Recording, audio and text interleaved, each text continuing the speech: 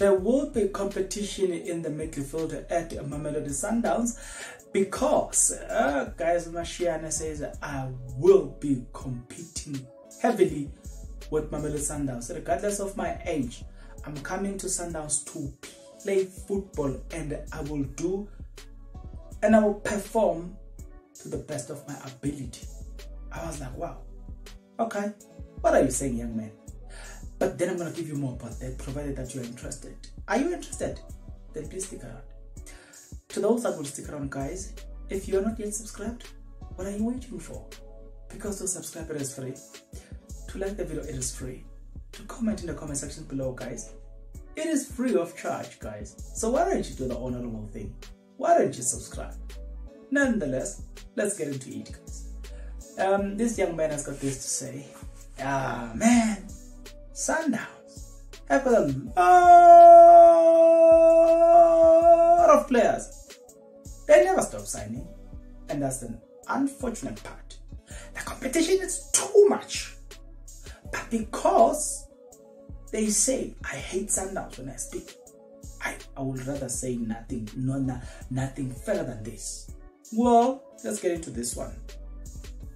There may be a lot of competition in the midfield in the middle of the park at Mamelodi Sundowns. But young Ofentse Mashiane is ready to roll up with sleeves and fight for the first team spot, especially after making an, an appearances in the DSTV Premiership last season.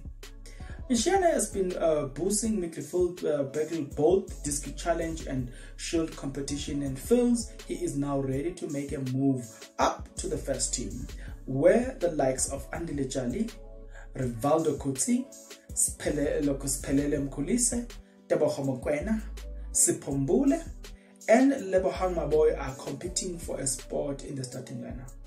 The 21-year-old Mashiane was given an opportunity to play against Royal AM last season. Is that this to say. I don't want to play the whole season for the Diski Shield, Diski Challenge team because I've been playing. Now I have I have to go to another level and meet other challenges and take it from there.